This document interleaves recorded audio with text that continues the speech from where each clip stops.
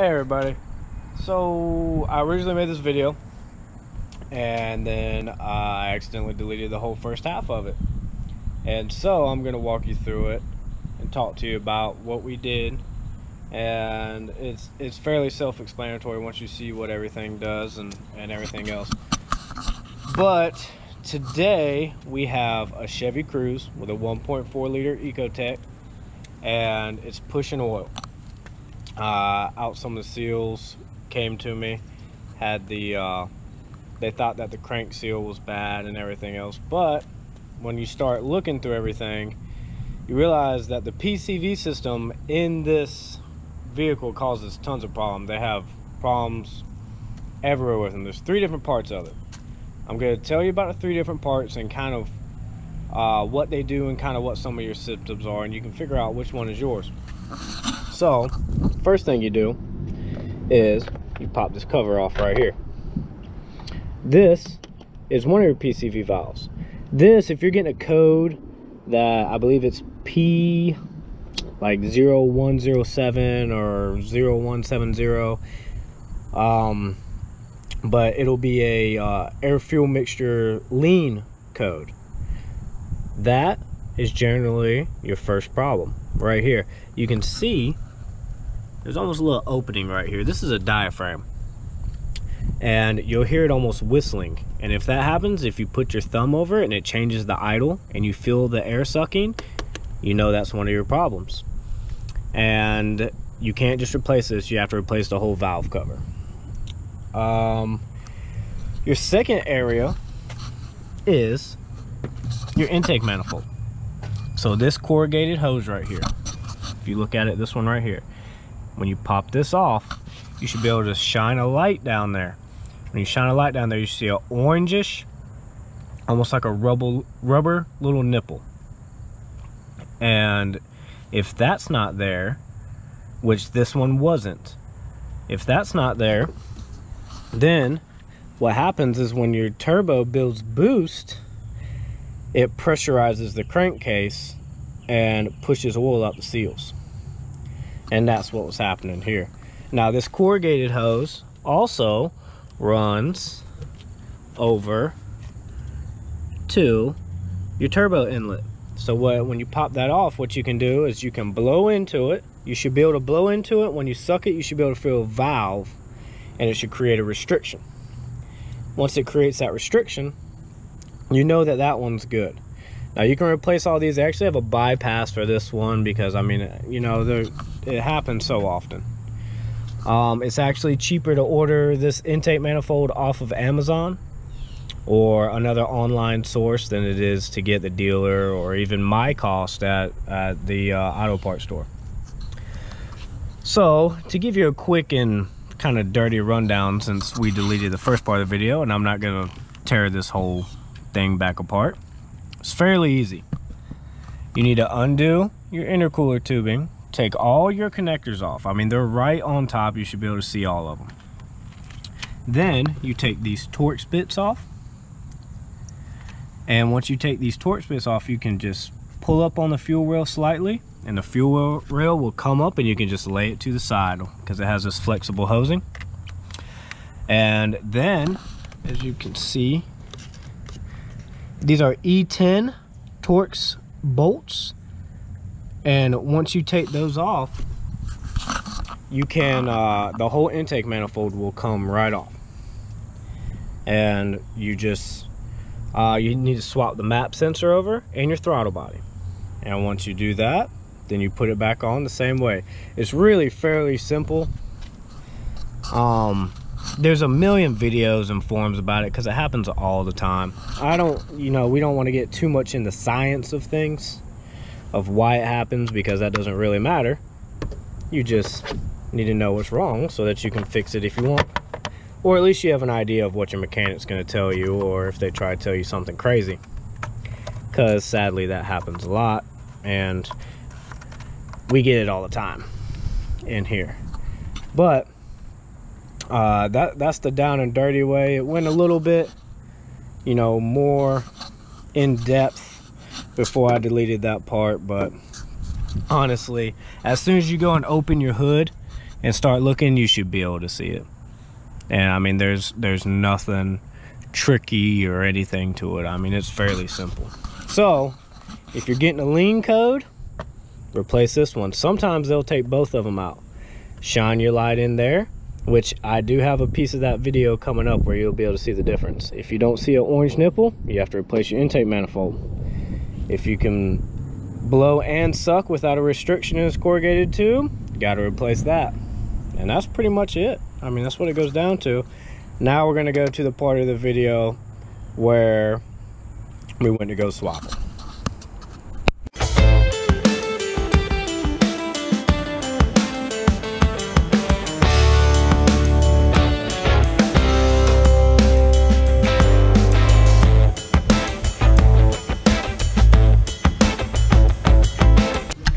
Things, just real quick, is your fuel injectors. You can pull them right out. They got little O-rings. They'll pop right out once you take them two Torx bits off. Take these connectors off. All you gotta do is push this in and pull up on it. You see a little metal bar. Push that in, pull up. You can lay the injector rail right to the side.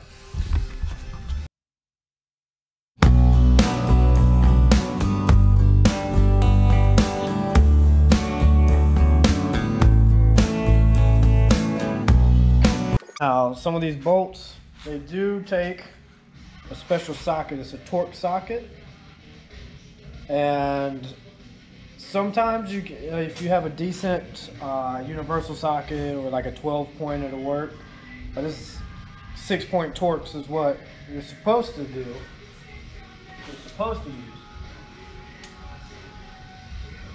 And it is a E10 Torx.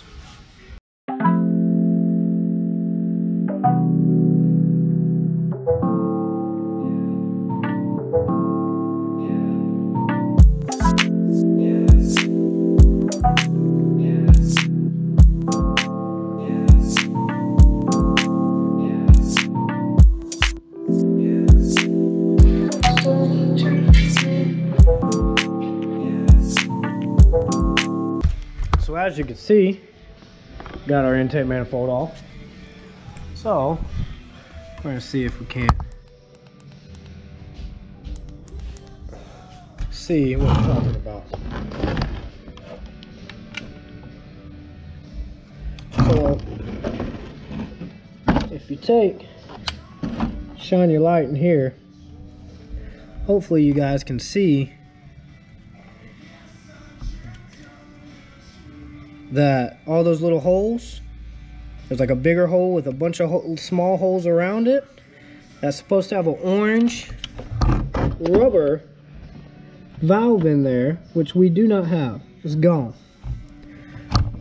So when that happens, it overpressurizes your crankcase and your PCV system will not work right. And that was part of our problem. So now we have to go to the new intake. Okay, so now we swapped over our throttle body, which is just four bolts. Take off the old intake, put on the new one. New intake has all new uh, gaskets, O-rings, all that new bolts, everything else. So now we just put it on back on the car exactly how we took it off. Uh, tighten the intake bolts down in a crisscross pattern, working from the middle outwards and they're going to be torqued to 15 foot-pounds.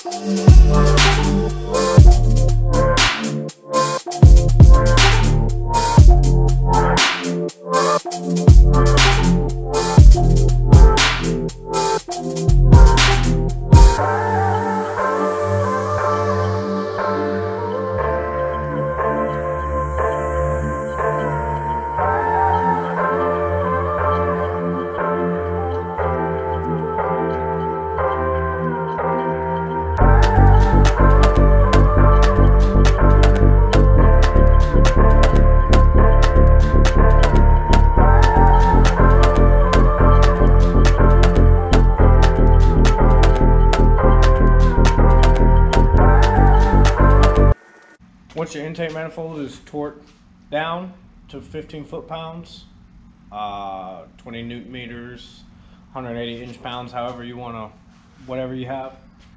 Then uh, we're going to go through and just replace, plug everything back in.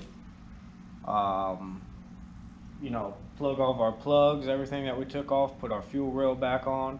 Fuel rail, all you have to do is take your fuel injectors, lay it right back over to where it was, and just give it a little push down, and it'll seat down right into the intake manifold.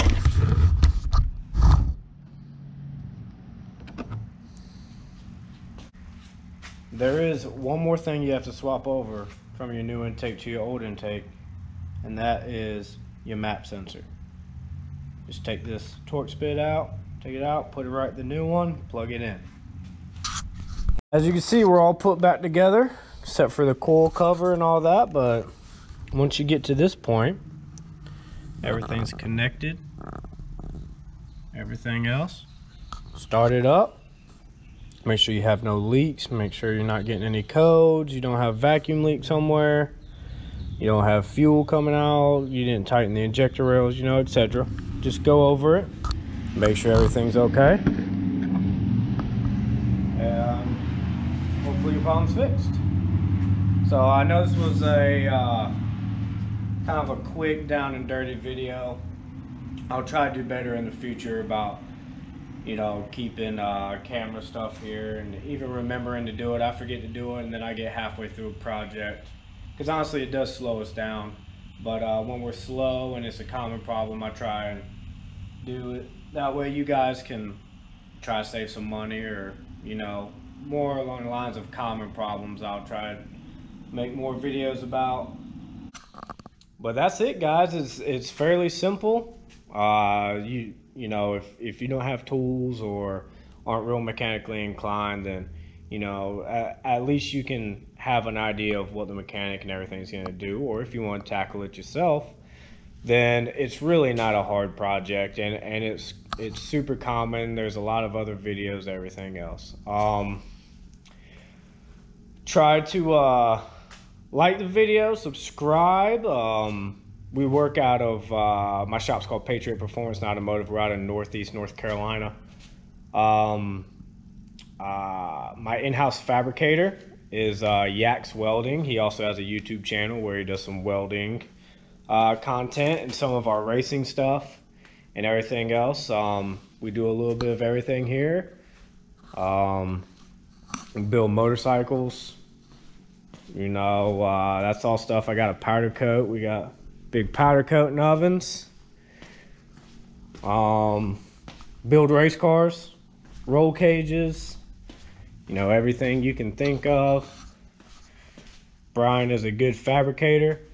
That's he's also on uh, Facebook and Instagram. He also has a YouTube channel that you can go check out. He actually posts more than I do. He's a little bit better about it.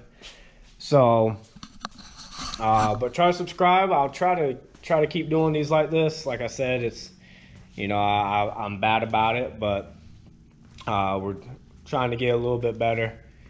And uh, try to subscribe to us, help us out. Uh, go on Facebook, Instagram, we're all over those, all that kind of fun stuff. That's usually where we post like our cars and stuff that we do. So, but thanks for watching, guys. We appreciate it.